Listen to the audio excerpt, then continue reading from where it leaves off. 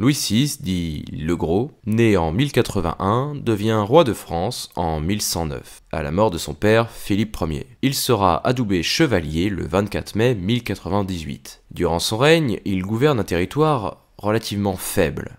Ses vassaux disposent d'une puissance territoriale bien plus grande que la sienne. Il devra donc composer avec eux afin de maintenir son autorité. De plus, il doit lutter contre des brigands à l'intérieur même de son territoire. Au niveau politique, il est présent en 1115 à Amiens pour défendre les habitants contre Thomas de Marle, qui n'accepte pas les privilèges accordés aux bourgeois de la commune. En 1124, il va attaquer la Normandie pour reprendre le duché aux Anglais. Henri Ier est à l'époque le roi d'Angleterre.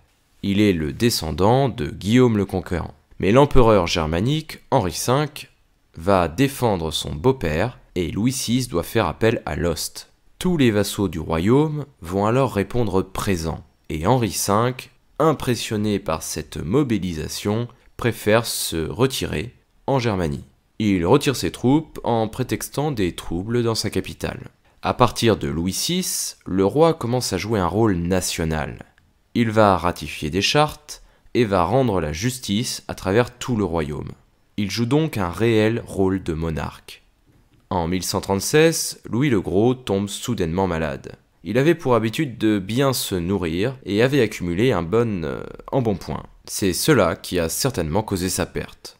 Son fils, qui voulait devenir moine, devient donc le nouveau roi de France sous le nom de Louis VII.